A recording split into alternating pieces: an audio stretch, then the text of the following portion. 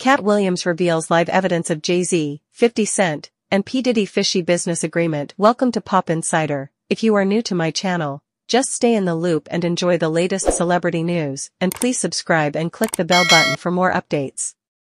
In a surprising twist that has sent shockwaves through the entertainment industry, comedian Katt Williams recently took to social media to expose what he claims to be a clandestine business agreement involving rap moguls Jay-Z, 50 Cent, and P. Diddy. Known for his sharp wit and no-holds-barred comedy, Williams delivered a live broadcast where he presented what he described as compelling evidence of collusion among the music industry's elite. During the live stream, Williams displayed a series of documents and screenshots, purportedly revealing emails and financial transactions that suggest a coordinated effort to control certain aspects of the music business.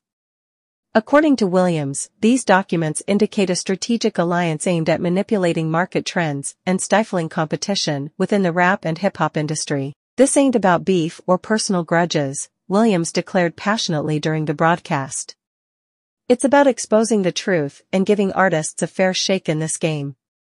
The allegations leveled by Williams have sparked intense debate and speculation among fans and industry insiders alike. While some have dismissed his claims as conspiracy theories, others have expressed concern over the potential implications of such behind-the-scenes machinations on artistic freedom and fair competition. Jay-Z, 50 Cent, and P. Diddy, all titans in their own right, have yet to publicly respond to Williams' allegations. Their silence has only added to the intrigue surrounding the controversy, leaving many to wonder whether there is indeed substance to Williams' claims or if it's a case of sensationalism overshadowing reality. The timing of Williams' revelations is particularly noteworthy, coming at a time when the music industry is grappling with issues of transparency and equity. With streaming platforms reshaping the landscape of music distribution and revenue generation, questions about fairness and accountability have become increasingly prominent. Williams' decision to go public with his findings underscores the role of social media in amplifying voices that challenge the status quo. In an era where information spreads rapidly and scrutiny is heightened, celebrities and public figures are increasingly using their platforms to shine a light on issues they believe warrant attention. Whether Williams' evidence will lead to concrete action or remain fodder for speculation remains to be seen. What is certain, however, is that his bold stance has ignited a conversation about power dynamics and ethical practices within the entertainment industry.